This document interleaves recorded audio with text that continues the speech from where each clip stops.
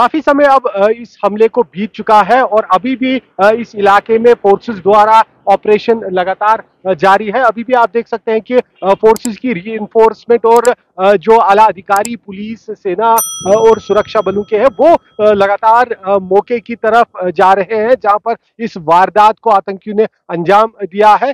ये जडमोड टनल यहाँ से शुरू होती है और यहाँ से आगे जहाँ इन कंस्ट्रक्शन वर्कर्स का पूरा मेस और दूसरा ऑफ़िस वगैरह बने हुए थे, उसी जगह पर ये आतंकियों ने हमला किया था और हमले के बाद से ही लगातार इस पूरे इलाके में फोर्सेस के ऑपरेशन जारी है, लेकिन अभी तक आतंकियों का कोई सुराग नहीं मिला है। इस बीच यहाँ एनआईए की जो टीम्स है, वो भी पहुँचना शुरू हो गई है।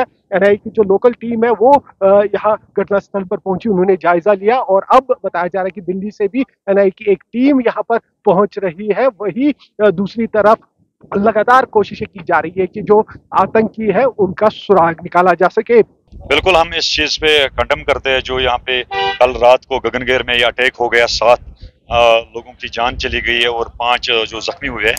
लेकिन ये फ़र्स्ट टाइम हमने देखा है क्योंकि उस डिस्ट्रिक्ट में हो गया, जो डिस्ट्रिक्ट सबसे पीसफुल डिस्ट्रिक्ट माना हुआ जाता है जे के में। लेकिन आज तक ये ऐसा कायराना हरकत आज तक नहीं हुई है, जो आज फ़र्स्ट टाइम ऐसे, ऐसा हुआ है।